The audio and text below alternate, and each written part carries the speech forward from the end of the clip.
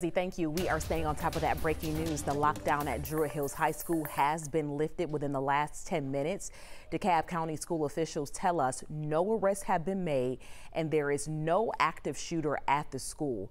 Emory University also says there is no active shooter. This is a live look right now outside of Druid Hills High School.